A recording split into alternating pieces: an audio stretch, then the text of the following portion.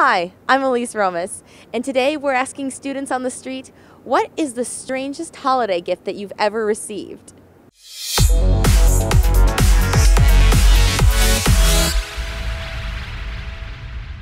Hot sauce. A pineapple, actually.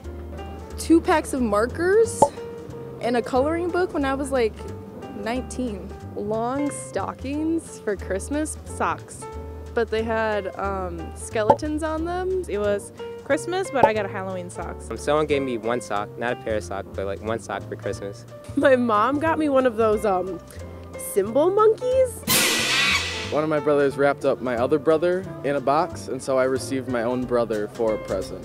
My brother wrapped a rock for me in a box, inside of another box, inside of another box, inside of another box. My parents went around the house and wrapped up my grandmother's old things and hid them under the tree. So it looked like I had about 50 presents. a um, pen shaped like a cat, and I don't actually like cats, um, but it also came with its own little uh, holster that was a house for the cat.